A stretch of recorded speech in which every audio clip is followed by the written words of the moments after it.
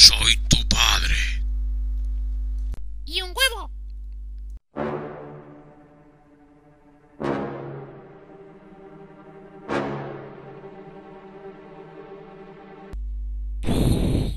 Valiente pringao.